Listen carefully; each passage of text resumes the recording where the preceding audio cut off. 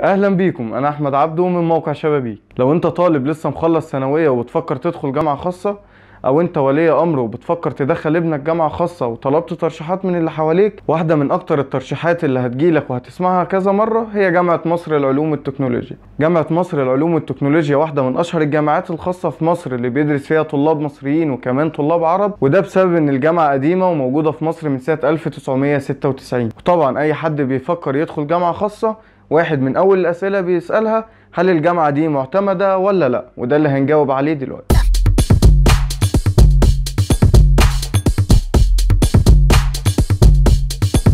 جامعة مصر للعلوم والتكنولوجيا كجامعة خاصة تعتبر جامعة كبيرة وده لأن فيها 13 كلية في العلوم الطبية والهندسية والتكنولوجية والعلوم الإنسانية كمان. مبدئيا جامعة مصر للعلوم والتكنولوجيا عضو عامل في اتحاد الجامعات العربية كمان هي عضو في اتحاد الجامعات الأفريقية.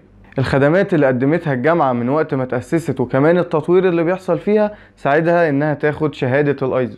واحدة كمان من الحاجات اللي بتدي الشهادة اللي بياخدها الطالب المتخرج من جامعة مصر للعلوم والتكنولوجيا ثقل إن الدراسة في معظم الكليات والتخصصات باللغة الإنجليزية ما عدا بس بعض التخصصات هي اللي بيدرسها الطالب باللغة العربية. وأخيرا جامعة مصر للعلوم والتكنولوجيا ضمن الجامعات الخاصة المعتمدة من المجلس الأعلى للجامعات المصري إحنا كده جاوبنا على سؤال جامعة مصر للعلوم والتكنولوجيا معتمدة ولا لأ؟ لو عندك أي استفسار تاني بخصوص الجامعة أو أي جامعة تانية أو ملف التعليم عموما تقدر تكتب لنا وهنرد عليك في الكومنتات. نشوفكم في فيديوهات تانية. مع السلامة.